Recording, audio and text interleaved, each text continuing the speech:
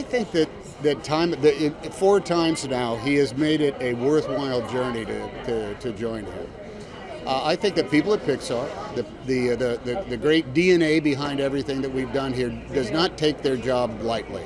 We have not banged these things out. There has been years between. Uh, and even on this one, we have recorded for the better part of three and a half years. And every moment is weighed, and every moment is taken very, very seriously. And no one wants to, to go all this route and just deliver an okay story. You're not a throwaway person. Nobody's a throwaway. Nobody's trash. And it seems so minuscule, but I get real thoughtful every time I say it. The way they do it, the way they organize it. And of course, Buzz doesn't care. Buzz, well, he threw himself out. We all have to make sure nothing happens to him. Woody, we have a situation. I am not a toy. I was made for soup, salad, maybe chili, and then the trash. Buzz, we've got to get Forky. Affirmative.